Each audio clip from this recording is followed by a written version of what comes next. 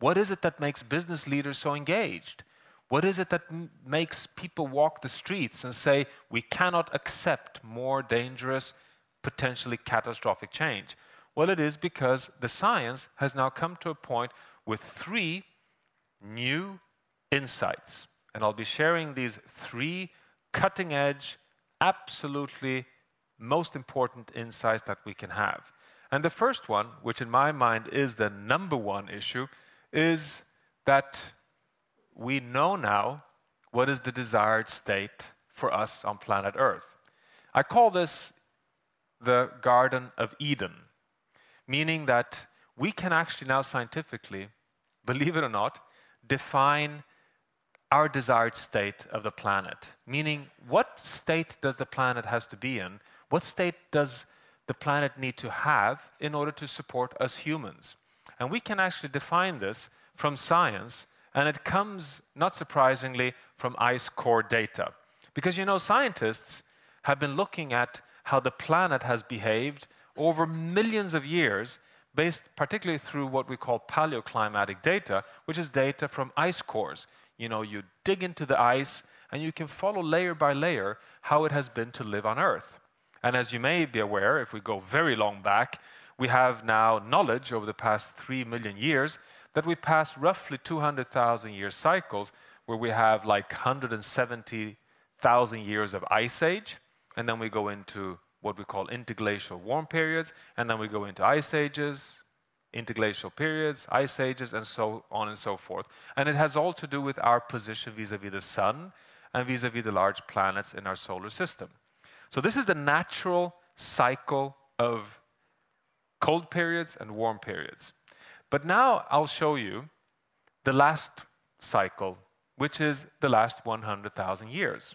Okay? So this is just a snapshot of how it has been to live on Earth.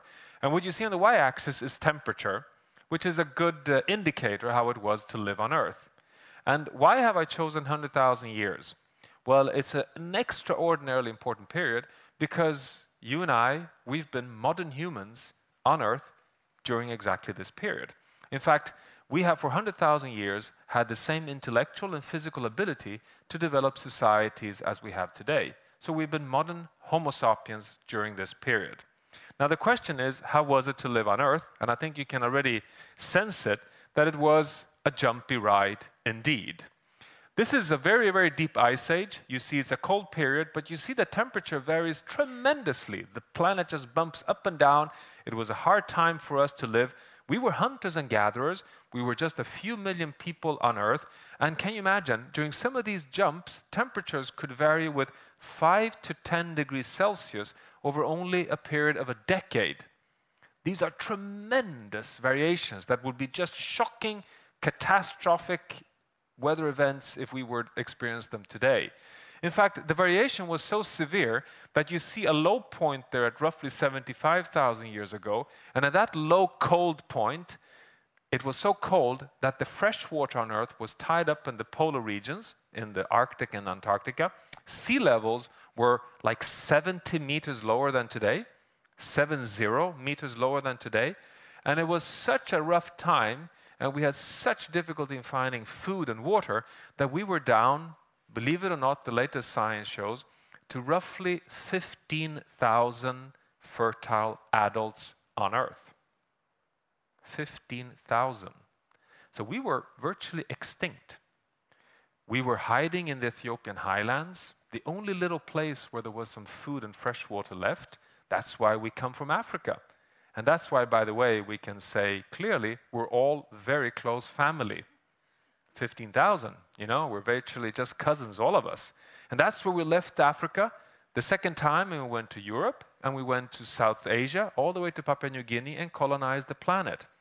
This is a proof that it was a very rough time to live in this period.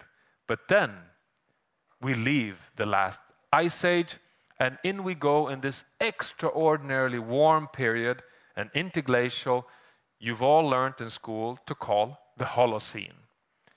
And the Holocene is where we are now, and it is an equilibrium. It's a state of the planet. But look at that graph. It shows you that the temperature is virtually exactly stable.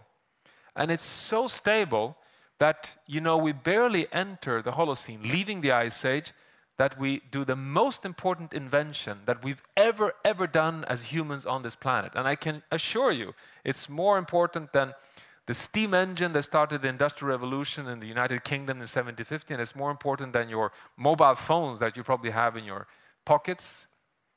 What do we do? Anyone who has a suggestion? What's the most important invention of all on this world? We become farmers. We invent agriculture. We barely enter the Holocene, and what do we do? We start planting seeds and start growing seeds, and we start domesticating animals. And as you may be aware, that when we become farmers, it allows us to produce food for those who don't produce food, so other people can differentiate and specialize to become technically advanced in other sectors. And this starts our modern societies, which takes us to the Mesopotamian irrigation societies, to the fantastic Egyptian empires, to the Chinese, to the Maya, to the Greek, to the Romans, and off we go into what we call modern civilizations up until a point in the mid 1950s when we take off an acceleration which is extraordinary. So essentially, science can tell a very simple but dramatic message to humanity. And this is the key insight. The Holocene is the only state of the planet we know that can support the modern world as we know it. And that is the key message, is the key insight. We can live outside of the Holocene. We've done so before, but we cannot envisage a modern world with good life conditions for seven, soon to become 10 billion people. So if we take an ethical responsibility for our own future, we need to stay in the Holocene. We need to have this stable state of the planet. And I can tell you that's a very dramatic message. It makes me nervous, but it's actually incredibly, incredibly reassuring as well because we know the Holocene so well. We know the temperature, as you see. We can see it stays within a plus minus one degree Celsius safe corridor. But we also know so much about the beauty on the planet. In fact, I can summarize very simply that everything you love Everything that I love, everything that we depend on, settles into the Holocene. If you come from Stockholm and you walk out of this door here and you love the archipelago and you love the ocean, you might love the rainforest, you might love the wetlands, you might love the coral reefs, you might love the wonderful grasslands and the temperate forests, you might love animals and plants. Everything settles in during the Holocene. So everything that builds our economy, everything that enables us to be in buildings like this, have electricity and have consumer goods and have cars and aircraft, settles in during the Holocene. Of course, the genetic diversity has been there for often 100 million years, but it's been so variable and so erratic that it's not until the Holocene that things are really falling into place. And what's the proof then that this is the right story? Well, I can tell you that the proof is actually very well established because you might think, well, but isn't it so that just one smart guy invented agriculture and it just happened by pure coincidence? Oh no. You see, what happened is that we barely leave the Ice Age and we come into the Holocene, and suddenly we become farmers in four or five different places on the planet at the same time. You know, you have farmers suddenly cultivating maize and rice and uh, teff and wheat in different continents at the same time. So it wasn't an individual having an Heureka moment coming up this fantastic, fantastic invention. And because we didn't have, you know, we didn't have mobile phones or Facebook or Twitter. We couldn't care, oh, I came up with this great idea, you know, try this, take a seed and put it in the ground. Oh no.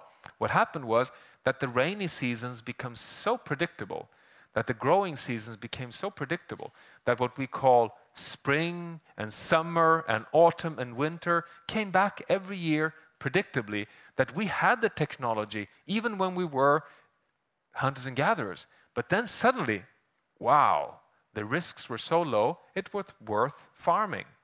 So the technology we took on based essentially on the stability of the Holocene. So this is insight number one.